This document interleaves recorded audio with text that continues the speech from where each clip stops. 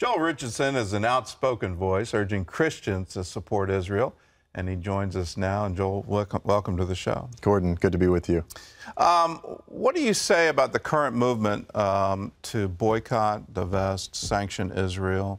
Um, why, why is that? Why are Christians turning to that? It seems astounding to me, but why are they doing it? You know, the, uh, the boycott, divestment, sanctions is a movement that began with, I mean, rabid, racist, pro Palestinian activists, but they have couched it as this sort of grassroots college movement that's founded on justice and compassion. And they've done a really good job with the propaganda narrative, you know, and so a lot of these young Christians, they think they're getting involved. The Lord cares about justice and compassion but they've really um, perverted those values. And, and as a result of that, you've got a lot of Christians that are putting their, their boats, if you will, into this, this river, which ultimately leads to the nation of Israel being surrounded by nations which want to destroy her. And that's literally what it's leading to.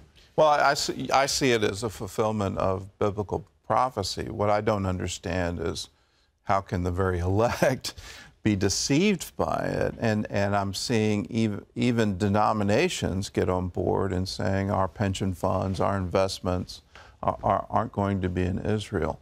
Is, there a theological underpinning to it? And, and, and what do you call that? Absolutely. I mean, and this is the thing is to say, how could Christians get involved in something which is so uh, contrary to the Word of God and the heart of God? But when you look at the history of the Christian church, overwhelmingly, the church taught replacement theology. So this idea that the church has replaced Israel and God is done with Israel. He's dissolving the people of Israel. So once you begin with that theology, then the fact that Israel is a nation, reestablished, prospering, it becomes a huge thorn in the side of your theology. And so rather than, uh, you know, essentially they're forced to sort of undermine Israel politically. And so it's political, it's political criticism and undermining of Israel is a way to support their flawed theology. Well, let's turn to the Bible. I mean, you've got a wonderful book out, When a, when a Jew Rules the World, where you do just that. Uh, I joke that the longer I'm a Christian, the more Jewish I become. Uh, and I've, I've, i really understand what Paul was talking about the one new man and how the Gentiles are literally grafted into the, the tree of Judaism. For me, growing up, and I grew up Baptist, uh, you know, we, we tried to make a lot out of, you know, the Gospel of Luke as, you know, here's the one Gentile. And even that now turns out in my research, that's not even true, that he probably was Jewish. And so when you look at the New Testament, even, even in that, all the authors are Jewish. Uh, it, and you just, for me, now I can't get away from it, but we seem to have gotten away from that. You know, this was the biggest warning that Paul the Apostle made to Gentile believers. He said, Listen, you guys, know your place.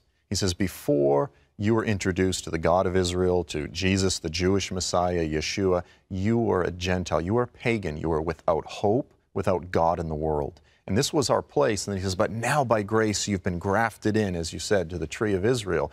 And he says, But just because you've been grafted in by grace, don't you become arrogant. Don't you look down on those that were broken off in order that you, you know, you, you, you, you blind Gentile could come in.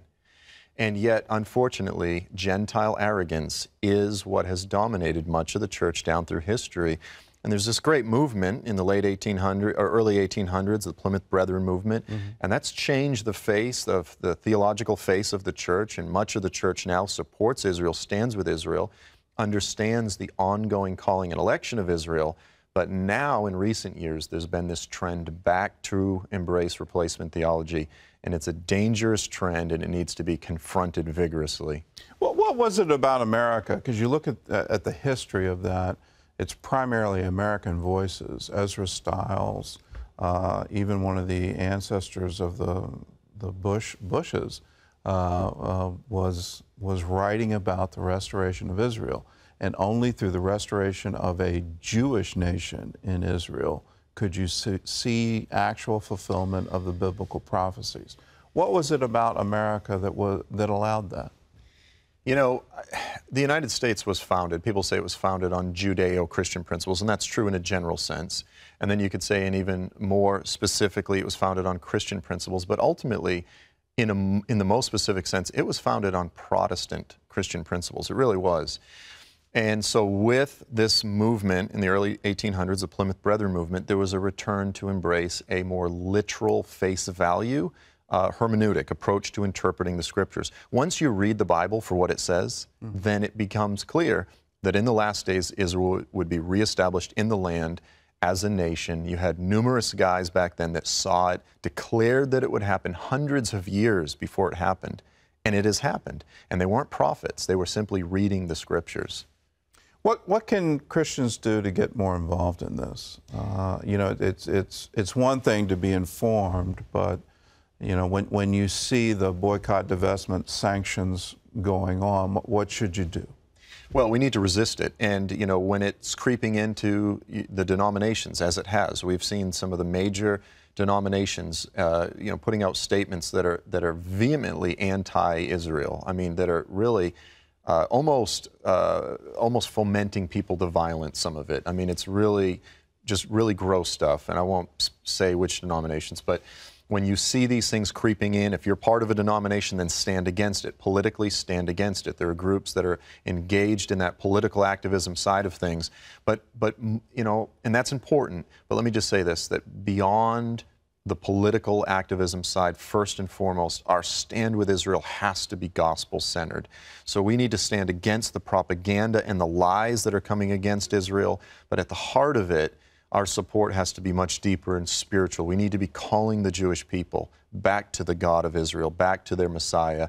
Uh, you know, it's the it's the Jewish Messiah that brought us into this relationship with them, and that's our, our duty. It's our mandate is to bring them back to Him as well.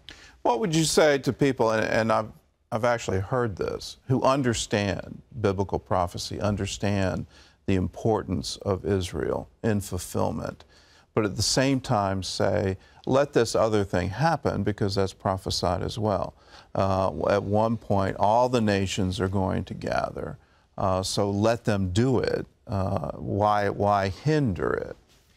Right. Yeah. Fatalism is the greatest uh, pitfall of those that study biblical prophecy. The Lord wants us to, there are certain things that will take place, but He doesn't want us to participate and to capitulate, and he doesn't want us to sit back and passively allow it to happen. Because it, this is sort of that weird dimension where is it Satan or is it God? Well, Satan will, will, you know, stir up the nations against Israel, and the Lord will allow it to happen. But we are to resist it. We are to stand against the activity of Satan. And so, you know, sort of this passivity, well, the whole world's going to hell in a handbasket. Why polish the brass on a sinking ship? Why bother? that, I, in my opinion, the Lord will judge those who take that passive attitude. He wants us engaged and He wants us on His side. His ultimate purpose is redemption, not destruction. Yeah, their blood will be on our hands if we don't warn them of the coming destruction. Right. Uh, and don't warn them that they're in danger of being cut off uh, if they go along with this. Right. Yep. Well, thank you for the book. Thank you for the wisdom. Thanks for the insight. If you want to mo- know more about this, when a Jew rules the world, how, how to interpret biblical prophecy, uh, how to really understand what the Bible says about Israel and the plan of God. This book is available wherever books are sold. We'll be back with more of 700 Club Interactive right after this.